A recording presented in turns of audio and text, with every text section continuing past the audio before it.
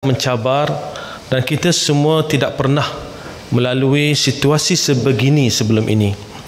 Kita dapat lihat seluruh dunia terkesan dengan pandemik COVID-19. Tidak terkecuali negara kita. Pandemik COVID-19 memberi kesan yang cukup mendalam kepada sektor pendidikan.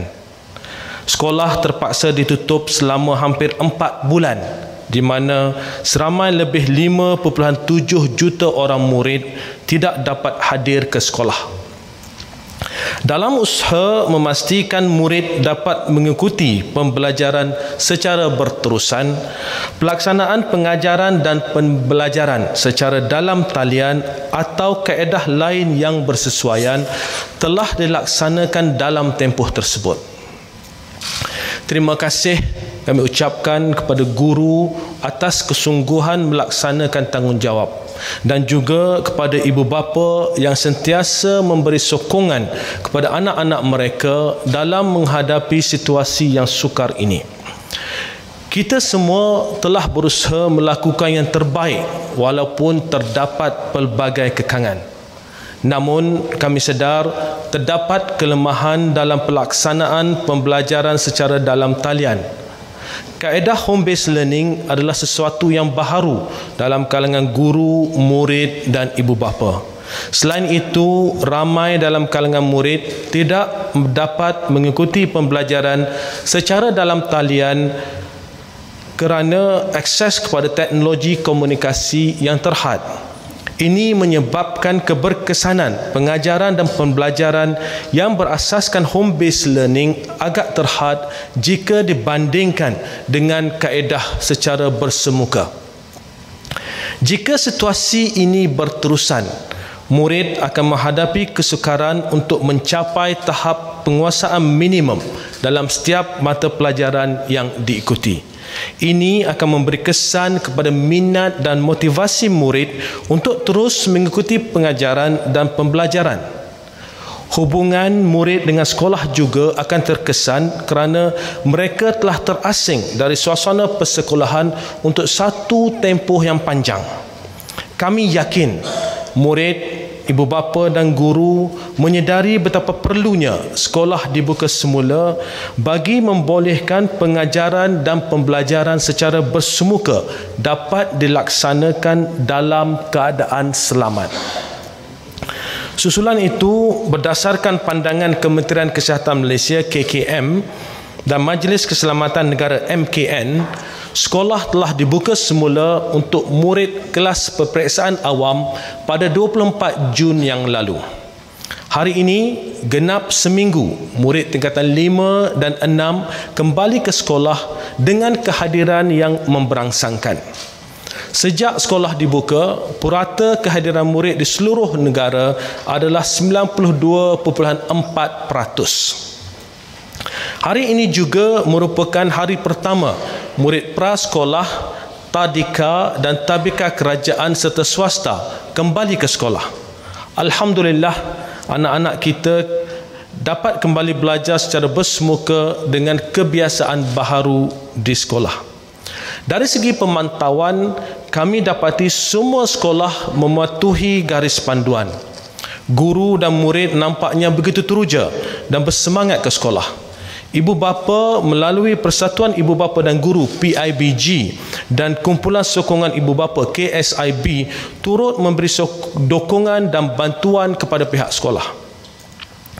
Bagi memantau kesiapsiagaan sekolah, KPM telah menggerakkan Jawatan Kuasa Pengurusan Pembukaan Semula Sekolah JPPSS di peringkat Kementerian, Jabatan Pendidikan Negeri JPN dan Pejabat Pendidikan Daerah PPD. Kami sentiasa memberi keutamaan kepada kesihatan dan keselamatan murid, guru dan warga sekolah sepanjang mereka berada di sekolah. Di samping itu, bilik gerakan pembukaan semula sekolah telah beroperasi mulai 17 Jun 2020. Petugas di bilik gerakan ini akan memberi penjelasan ke atas sebarang persoalan berkaitan pembukaan semula sekolah. Pada 10 Jun 2020, kami memaklumkan bahawa pembukaan semula sekolah bagi murid selain daripada kelas peperiksaan awam akan dilaksanakan secara berperingkat berdasarkan nasihat KKM dan MKN.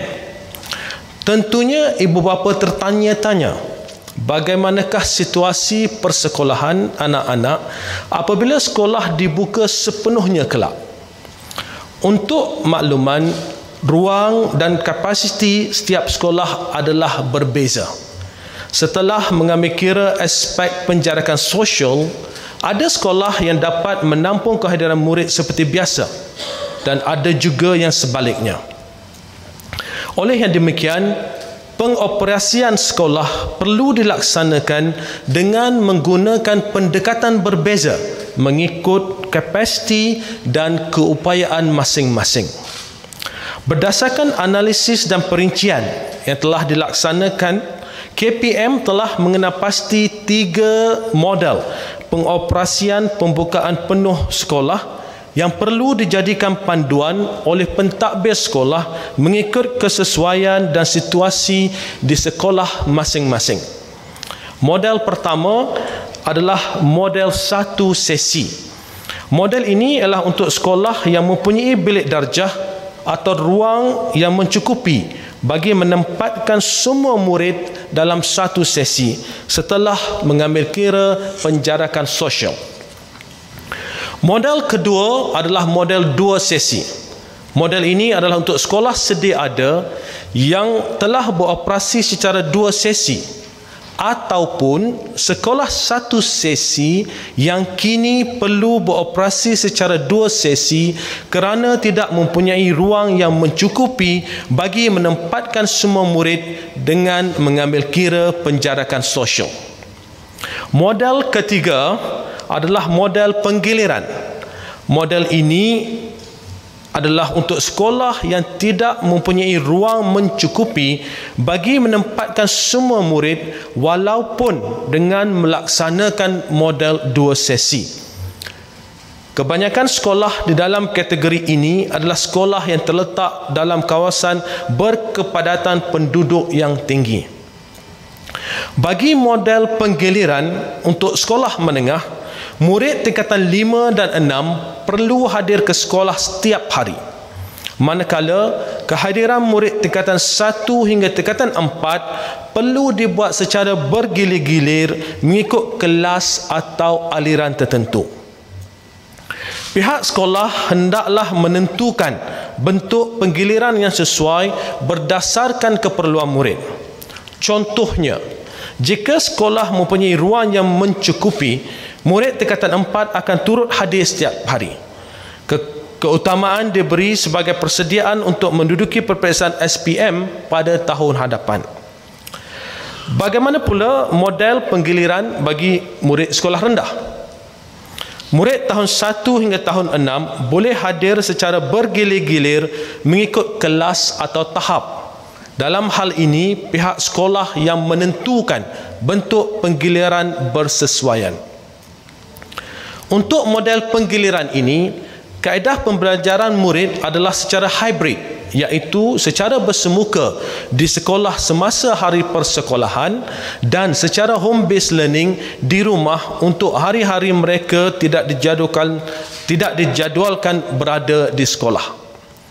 Maklumat senarai sekolah mengikut model yang telah ditetapkan akan dimaklumkan oleh KPM selewat-lewatnya seminggu sebelum sekolah dibuka semula sepenuhnya. Sudah tentu ada dalam kalangan ibu bapa atau penjaga bagi murid di sekolah berasrama yang bimbang akan keselamatan anak-anak mereka apabila tinggal di asrama kelak. Usah khawatir kami telah mendapatkan pandangan KKM mengenai langkah-langkah keselamatan di asrama sekolah. Pembukaan semula sekolah berasrama akan dilaksanakan mengikut kapasiti asrama sekolah masing-masing. Asrama yang mempunyai kapasiti yang mencukupi setelah mengambil kira penjarakan sosial akan beroperasi seperti biasa. Manakala bagi asrama yang mempunyai kapasiti ruang terhad setelah mengambil kira penjagaan sosial pada peringkat awal hanya sebahagian murid sahaja dapat tinggal di asrama. Antara kekangan utama adalah penggunaan penggunaan katil dua tingkat atau double decker. Kami telah meneliti perkara ini bersama-sama KKM Mengikut saranan KKM, pada peringkat awal kemasukan, murid hanya menggunakan katil bawah sahaja. Namun, selepas tempoh 14 hari, kumpulan murid baharu dibenarkan masuk ke asrama dengan menempatkan murid sedia ada di katil atas manakala murid baharu di katil bawah. Prosedur ini diteruskan sehingga semua murid dapat kembali di asrama. Setelah mengambil kira saranan KKM, secara umumnya untuk asrama yang menggunakan katil dua tingkat, semua murid dijangka dapat kembali ke asrama dalam tempoh 28 hingga 42 hari daripada 24 Jun 2020 mengambil kira pusingan 14 hari. Tempoh untuk kembali ke asrama ini bergantung kepada bilangan murid dan akan ditetapkan oleh pihak sekolah. Sudah pasti guru, murid dan ibu bapa tertanya-tanya bilakah tarikh pembukaan penuh sekolah. Berdasarkan penilaian ke atas kesiapsiagaan dan persiapan pembukaan semula sekolah, kami yakin bahawa semua sekolah telah bersedia untuk dibuka semula. Pentadbir sekolah juga telah membuat perancangan teliti bagi menguruskan kemasukan murid sepenuhnya. Namun dalam membuat keputusan mengenai pembukaan semula sekolah KPM sentiasa merujuk kepada KKM dan MKN berdasarkan situasi semasa penularan wabak COVID-19 KKM dan MKN bersetuju bahawa pembukaan penuh sekolah boleh dilaksanakan dalam tempoh terdekat Setelah mengambil kira saranan KKM dan MKN, KPM menetapkan supaya pembukaan semula sekolah untuk murid bukan kelas peperiksaan awam dilaksanakan secara berperingkat. Bagi sekolah menengah, murid tingkatan 1 hingga tingkatan 4 serta murid kelas peralihan akan kembali ke sekolah bermula pada hari Rabu 15 Julai 2020. Untuk sekolah rendah pula, murid tahun 5 dan tahun 6 akan kembali ke sekolah pada hari Rabu 15 Julai 2020. Manakala tarikh pembukaan semula sekolah bagi murid tahun 1 hingga tahun 4 adalah pada hari Rabu 22 Julai 2020. Bagaimana pula dengan kemasukan murid tingkatan 6 semester 1 tahun 2020? Untuk makluman, keputusan penawaran kemasukan calon lepasan SPM 2019 ke tingkatan 6 semester 1 tahun 2020 boleh disemak mulai hari ini melalui portal KPM. Murid akan mendaftar pada hari Rabu 15 Julai 2020. Tarikh pembukaan semula sekolah ini terpakai kepada semua sekolah kerajaan, sekolah bantuan kerajaan, sekolah swasta, sekolah antarabangsa dan mana-mana institusi pendidikan yang berdaftar dengan KPM. Bagi sekolah yang tidak berdaftar dengan KPM pula, mereka juga disaran untuk mengikut tarikh pembukaan penuh sekolah yang telah ditetapkan. Kami juga banyak menerima pertanyaan bilakah pusat tuition, pusat bahasa, pusat perkembangan dan sebagainya boleh dibuka semula. KPM ingin memaklumkan bahawa semua institusi pendidikan swasta di bawah kategori pusat yang berdaftar dengan KPM boleh dibuka semula pada hari Rabu 15 Julai 2020. Saudara-saudari, tahun 2020 merupakan tahun yang cukup mencabar bagi KPM. Pandemik COVID-19 merupakan satu situasi yang tidak pernah berlaku sebelum ini. Oleh yang demikian, penyelesaian untuk isu yang timbul sepanjang tempoh ini tentunya memerlukan pendekatan atau kaedah yang luar dari kebiasaan. Sebagai contoh, meminda takwim persekolah meminda takwim persekolahan tahun 2020 merupakan satu cabaran yang amat besar bagi KPM. Bak kata pepatah, ditelan mati emak, diluah mati bapa. Selama ini takwim persekolahan setiap tahun hampir sama coraknya. Namun tahun ini keadaannya cukup berbeza. Seperti mana saya jelaskan pada awal tadi, KPM mendapati pengajaran dan pembelajaran murid secara dalam talian dan secara home based learning adalah kurang berkesan berbanding secara bersemuka. Dalam membuat keputusan kompleks sebegini, kami perlu merancang dengan teliti kami mesti melihat secara menyeluruh dalam jangka sederhana dan dalam jangka panjang. Perancangan yang dibuat tidak boleh hanya tertumpu untuk tahun ini sahaja. Ini kerana kesan pandemik COVID-19 kepada sektor pendidikan tidak boleh diselesaikan dalam tempoh yang singkat apa yang menjadi keutamaan adalah untuk memastikan murid mempunyai tempoh pembelajaran yang mencukupi sebagai persediaan untuk tahun, tahun untuk tahun berikutnya.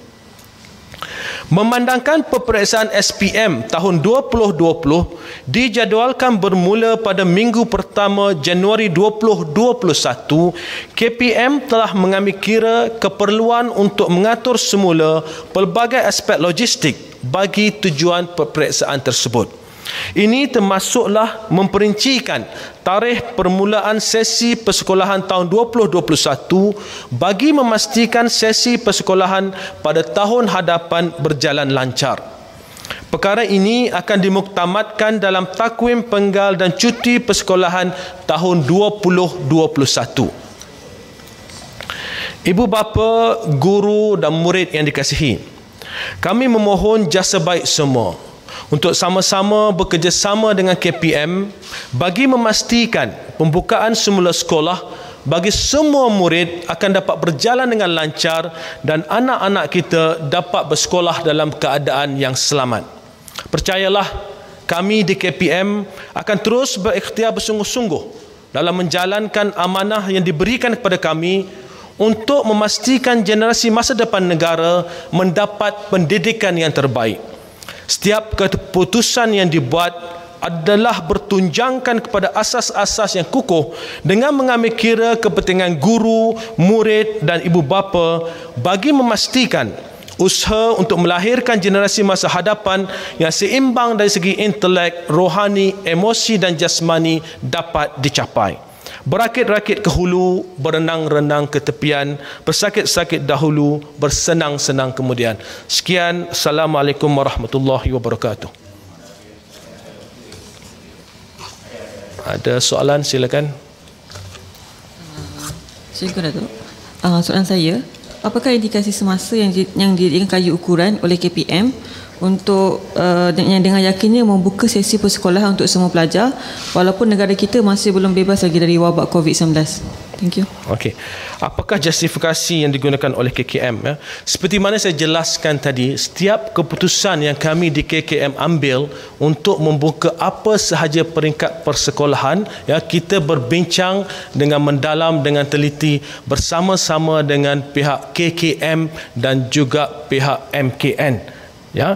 Apa yang pasti risikonya tetap ada. Itu kita tahu bahawa risikonya tetap ada tetapi apa yang perlu dilakukan oleh pihak sekolah dan dalam konteks kami KPM adalah untuk memastikan segala uh, SOP yang ada dalam garis panduan dapat dipatuhi dengan baik. Ya sebab itulah jika dilihat di sekolah-sekolah penekanan yang diberikan adalah terutamanya dalam aspek social distancing atau penjarakan sosial dan juga dalam aspek kebersihan dan keselamatan keselamatan anak-anak di sekolah Sekali lagi saya ingin tegaskan bahawa keputusan ini dibuat selepas pembincangan yang mendalam bersama dengan pihak KKM dan MKN mengambil kira situasi COVID-19 yang bertambah baik pada akhir-akhir ini.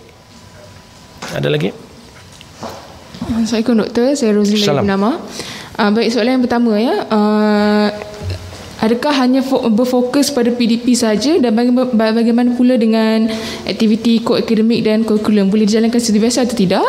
Uh, dan soalan kedua, uh, model pengoperasian yang disebut doktor tadi um, boleh campur atau tidak model satu sesi, dua sesi penggiliran atau hanya satu sahaja? Terima kasih.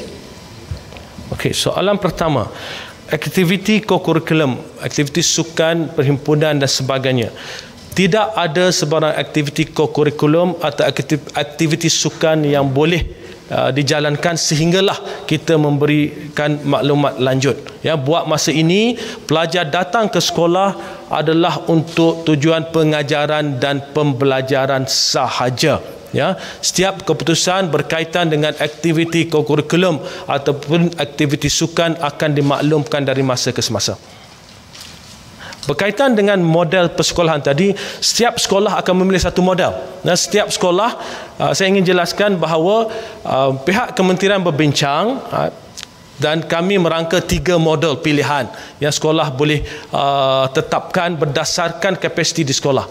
Jadi model ini pihak sekolah akan lihat kapasiti di sekolah, mengambil kira penjarakan sosial, model manakah yang terbaik. Maknanya satu sekolah satu model saja, ya. Jadi katakanlah sekolah itu mempunyai kapasiti yang cukup, ya, maknanya dia ada bilik yang lebih, dia ada uh, tempat uh, bilik-bilik sumber dan sebagainya yang boleh digunakan sebagai bilik darjah dan ada penjarakan sosial yang boleh dilaksanakan, maka mereka boleh memanggil pelajar-pelajar balik seperti biasa. Ada juga sekolah yang mana uh, sebelum ini contohnya satu sesi tetapi disebabkan oleh penjarakan sosial yang dibuat maka kapasiti untuk memanggil semua pelajar dalam satu sesi tidak boleh dilaksanakan. Dalam konteks tersebut, sekolah tersebut pada umumnya akan kembali pada kami dengan memberi cadangan bahawa mereka akan memilih uh, model dua sesi. Jadi kita telah mendapat maklumat daripada sekolah berapa buah sekolah uh, yang akan mengad, uh, melaksanakan uh, model satu sesi, model dua sesi atau model penggiliran.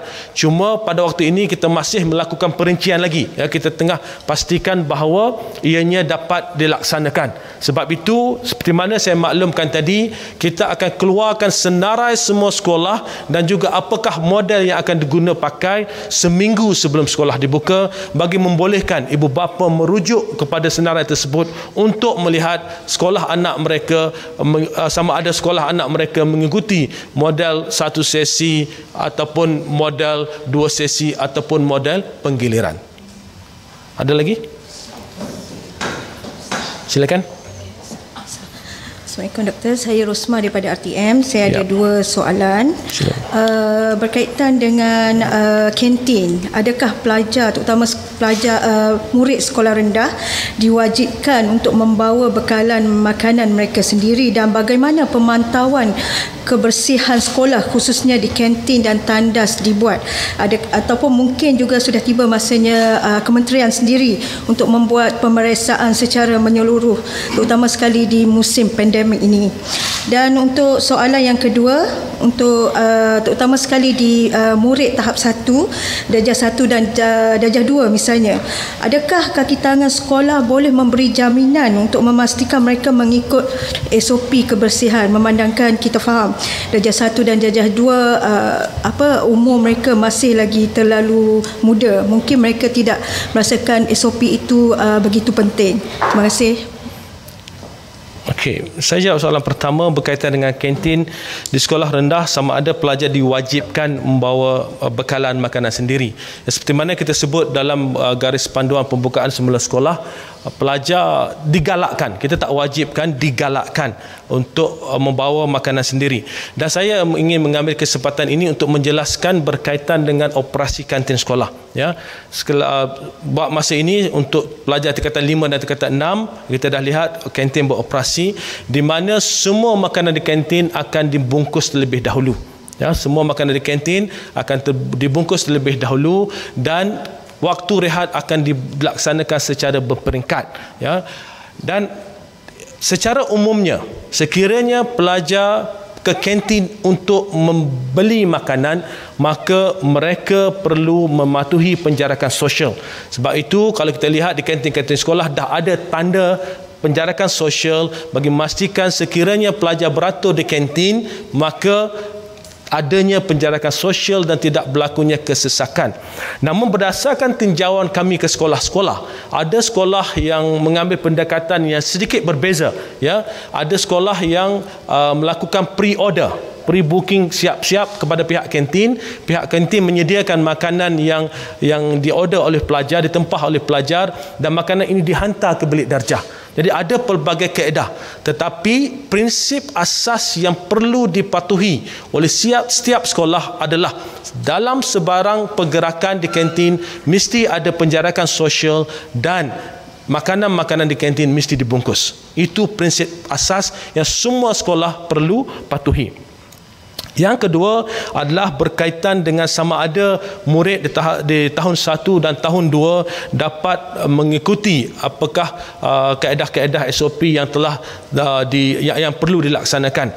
Saya berkesempatan untuk melawat pelajar prasekolah yang memulakan persekolahan pagi ini. Dan alhamdulillah kita lihat uh, dengan keadaan susunan meja yang yang teratur dengan adanya penjarakan sosial pengawalan murid dalam bilik darjah adalah lebih uh, lebih mudah ya. Maknanya pelajar-pelajar ini duduk di kerusi masing-masing dan apabila mereka duduk di kerusi itu kita tahu ada penjarakan sosial satu meter di antara satu sama lain. Dan kami yakin di KPM insya-Allah ya guru-guru uh, dengan kerjasama ibu bapa berpesan kepada anak-anak dan kami yakin anak-anak di tahun 1 dan tahun 2 akan turut sama dapat mengikuti segala garis panduan yang telah ditetapkan.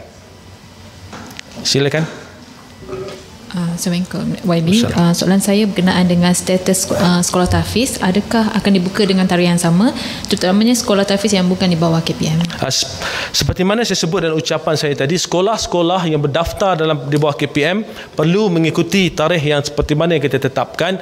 Manakala sekolah-sekolah yang tidak berdaftar dengan KPM Disarankan supaya mematuhi uh, uh, saranan atau mematuhi uh, tarikh yang telah dicadangkan oleh KPM Okey.